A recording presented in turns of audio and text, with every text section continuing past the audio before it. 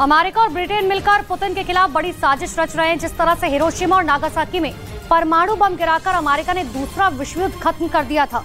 Putin को डर है कि यूक्रेन की जंग खत्म करने के लिए अमेरिका दोबारा परमाणु साजिश रच सकता है।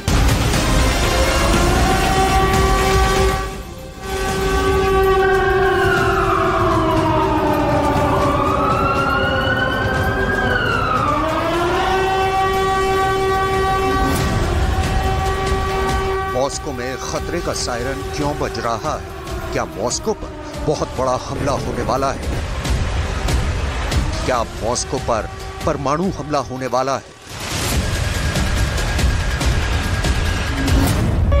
Внимание! Внимание! Угроза ракетного удара!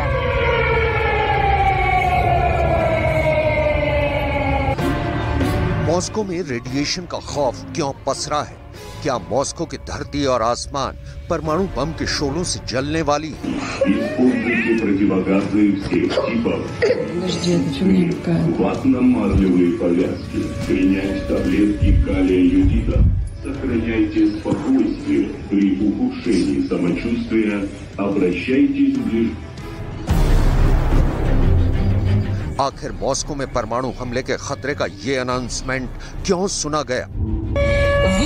Внимание! Внимание! Угроза ракетного удара! ये अनाउंसमेंट उस मॉस्को में हुआ जहां रूस के राष्ट्रपति व्लादिमीर पुतिन रहते हैं Используйте противогазы всех типов. Подожди, это что мне какая? Ватно-марлевые повязки. Принять таблетки калия юдида. Сохраняйте спокойствие. При ухудшении самочувствия обращайтесь в ближ...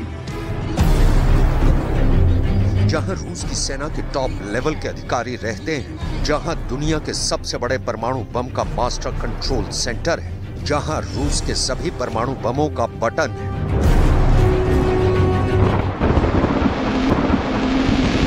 अब मॉस्को पर मंडराते खौफ की दूसरी तस्वीर देखिए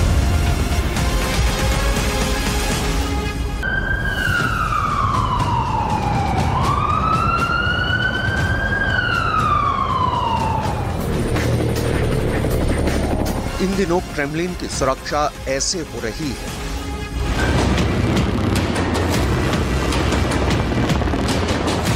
चार हज़ार से अधिक कमांडो की नज़र 24/7 क्रेमलिन पर है। आसमान से नज़र गड़ाए इन कमांडो ने मॉस्को की सुरक्षा चाक चौबंद कर रखी है।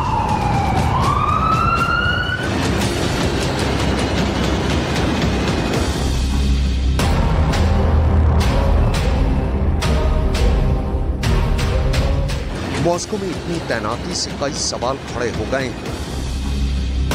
क्या मॉस्को हमले के डर से डरा हुआ है?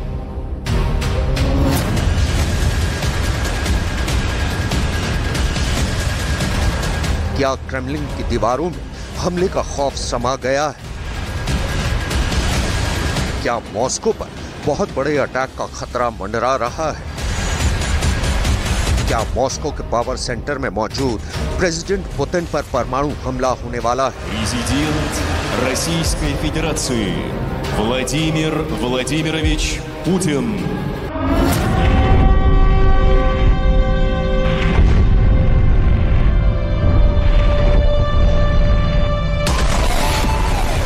आखिर मॉस्को के चप्पे चप्पे में इमरजेंसी सायरन क्यों बज रहा है सड़क गली मोहल्ला अस्पताल, बम शेल्टर, सेना के ठिकाने क्रेमलिन मॉस्को में पूरब से पश्चिम तक, उत्तर से लेकर दक्षिण तक हमले का खौफ पसरा है। पुतिन के सबसे मज़बूत किले में खून खराबे का कोलाहल मचा हुआ है। रूस की राजधानी में हमले का कोहराम मचा हुआ है। मॉस्को का सबसे बड़ा डर उस वक्त पूरी दुनिया में सामने आ गया, जब यह खबर आई कि पुतिन मॉस्को में बहुत बड़ा बम शेल्टर बनवा रहे हैं। पुतिन ने लोगों को बम के हमलों से बचाने के लिए एक बम शेल्टर बनाने का आदेश दे दिया है। इस खबर के बाहर आने के बाद मॉस्को के मॉस्को सेंट्रल क्लिनिकल हॉस्पिटल की तस्वीरें पूरी दुनिया में ट्रेंड करने लगी। रूस के मीडिया ने दावा किया है कि नए बम शेल्टर को मॉस्को के इसी मॉस्को सेंट्रल क्लिनिकल हॉस्पिटल में बनाया जा रहा है। इस दावे के सामने आने के बाद नेटो की खुफिया एजेंसियाँ सुपर अलर्ट हो गई हैं। सबकी नज़र मॉस्को के इस बड़े अस्पताल पर आकर ठहर गई है। मॉस्को सेंट्रल क्लिनिकल हॉस्पिटल के लोकेशन को अमेरिका के पेंटागन के एक बड़े स्क्रीन पर देखा जा रहा है। इस अस्पताल का नाम और यहाँ चल रहा बम शेल्टर बनाने का काम ब्रिटेन के घर घर में देखा जा रहा है। कीव की special team Moscow central clinical hospital में बन रहे बम शेल्टर की खुफिया जानकारी जुटाने में लगी हुई है। वजह है मॉस्को सेंट्रल क्लिनिकल हॉस्पिटल में बन रहा वीवीआईपी बम शेल्टर। रूस की मीडिया का दावा है कि यहाँ बन रहे बम शेल्टर में न सिर्फ़ सैकड़ों लोगों के छिपने की क्षमता होगी, बल्कि ये उन्हें परमाणु हमले से भी बचाएगा। दावे के मुताबिक इस बम शेल्टर को मॉस्को के वीवीआईपीज और सेना के बड़े अधिकारियों के लिए बनाया जा रहा है। पुतिन, मॉस्को पर हुए ड्रोन हमलों के बाद से ही अलर्ट है। पश्चिमी मीडिया का दावा तो ये भी है कि मॉस्को पर बड़ा हमला हो सकता है। ऐसे में पुतिन ने मॉस्को के इस बड़े अस्पताल में बम शेल्टर बनाने के आदेश दिए। दावा किया गया कि इस साल के आखिर तक बम शेल्टर पूरी तरह से बनकर तैयार हो जाएगा।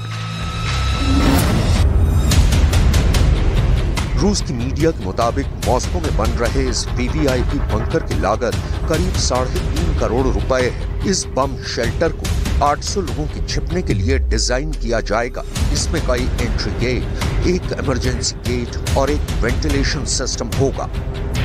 दावे के मुताबिक पुतिन ऐसा इसलिए कर रहे हैं कि मॉस्को पर अगर हमला हुआ तो रूस की सेना के सीनियर अफसर सुरक्षित रह सके, क्योंकि इसी अस्पताल में उनका इलाज होता है।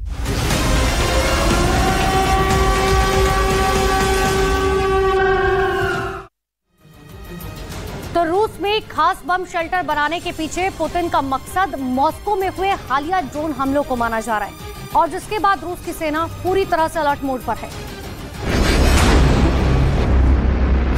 इस खास बम शेल्टर को बनाने की सबसे बड़ी वजह हाल ही में मॉस्को पर हुए सबसे बड़े ड्रोन अटैक को माना जा रहा है।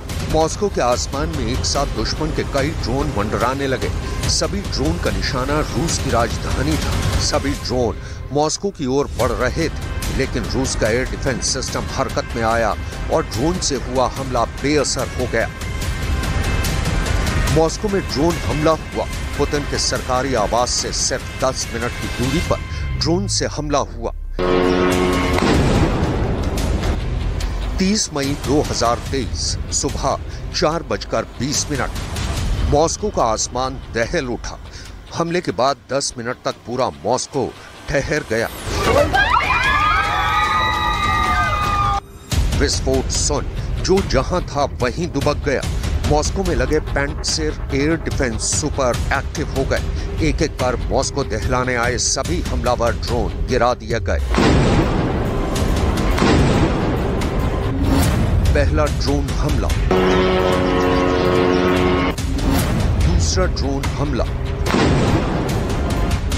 तीसरा ड्रोन हमला। चौथा ड्रोन हमला।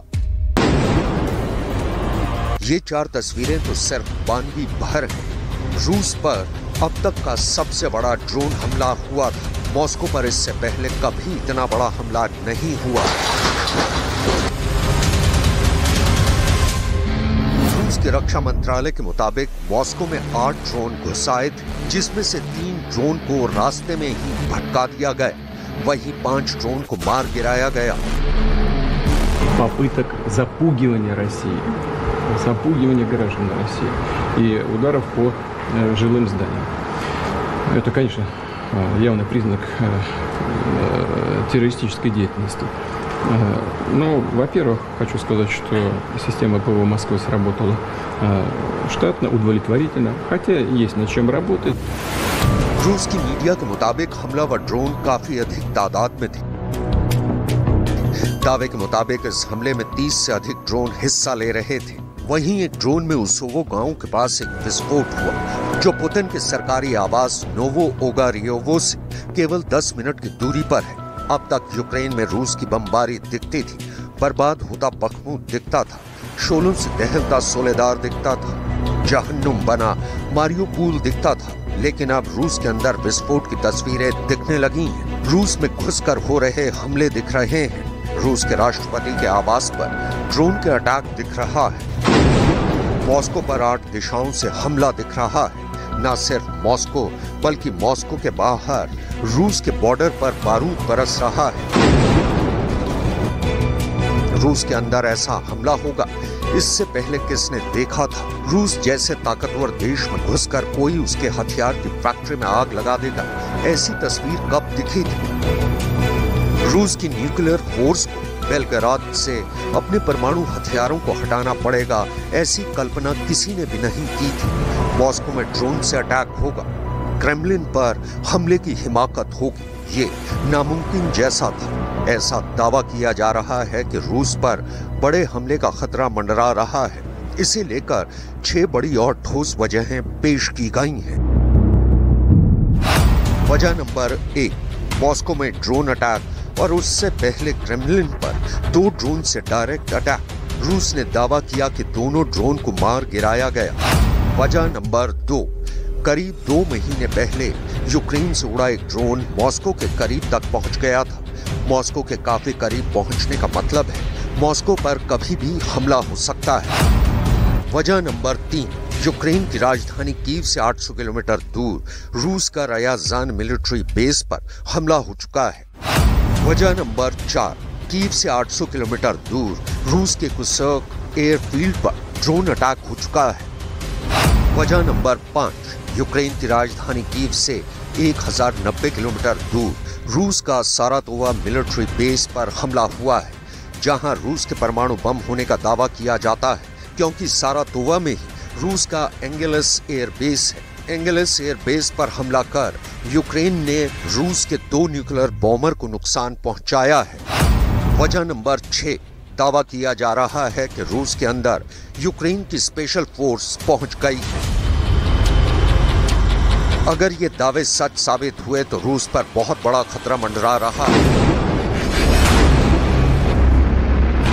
अगर रूस के अंदर यूक्रेन के स्पेशल फोर्स के अंडर कवर फाइटर मौजूद होने का दावा सच साबित हुआ तो रूस में आत्मघाती हमलों की आशंका बढ़ गई है। क्योंकि यूक्रेन के स्पेशल फोर्स को अमेरिका की सी और ब्रिटेन के एस कमांडो ट्रेंड कर चुके हैं। जेलेंस्की के कमांडो ब्रिटेन में रहकर स्पेशल ट्रेनिंग लिए हुए हैं। यही वजह है पुतिन की टेंशन बढ़ गई है। रूस की स्पेशल फोर्स स्पेट्सनाज अलर्ट साथ ही साथ रूस के न्यूक्लियर बॉम्बर खतरे में है। अगर यह अंदेशा सच साबित हुआ तो रूस के सैन्य अड्डों पर ऐसे ही बारूद की आग धधकने लगेगी। यही वजह है कि अब पुतिन मॉस्को के सबसे बड़े अस्पताल में ऐसा बम शेल्टर बनवा रहे हैं, जो परमाणु हमले के दौरान भी मॉस्को में रहने वालों की रक्षा करेगा। पुतिन ने इससे पहले अक्टूबर 2022 में पूरे रूस में बम शेल्टर को अपग्रेड करने के आदेश दिए थे। तो रूस में सिर्फ़ नए बम शेल्टर ही नहीं बनाए जा रहे, बल्कि पुराने बंकरों की मरम्मत की जा रही है, जो सोवियत संघ के दौर से बने थे।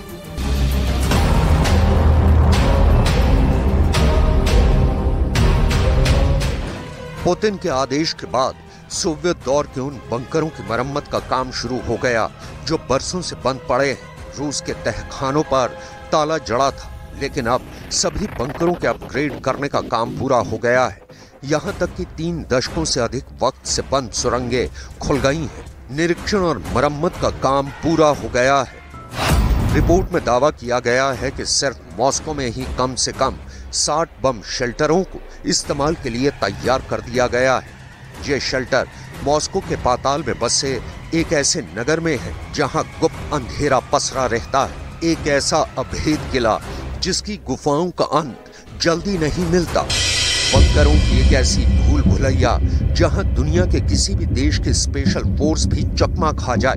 जिधर देखो, उधर अंधकार, सन्नाटा, और उस सन्नाटे को चीरती सौ फ़ीसदी बचाव की गारंटी पेंटागन की खुफिया रिपोर्ट में दावा किया गया है कि मॉस्को में धरती के नीचे करीब 19 किलोमीटर लंबी भूमिगत सुरंगों का जाल है। 17 किलोमीटर लंबी, एक खास सुरंग क्रेमलिन से जुड़ी है। ये मॉस्को में ज़मीन में सैकड़ों मीटर की गहराई में मौजूद बंकरों का ऐसा जाल है, जिसे पुतिन का पाताल लोक कहा जाता है। एक ऐसा लोक जो अमेरिका के परमाणु हमलों से भी महफूज है। इन्हीं सुरंगों के रास्ते पुतिन को उनके खास परमाणु बंकर तक पहुँचाया जा सकता है। दावा किया जाता है कि पुतिन का बंकर इतना मज़बूत है कि उस पर परमाणु बम का भी असर नहीं होगा।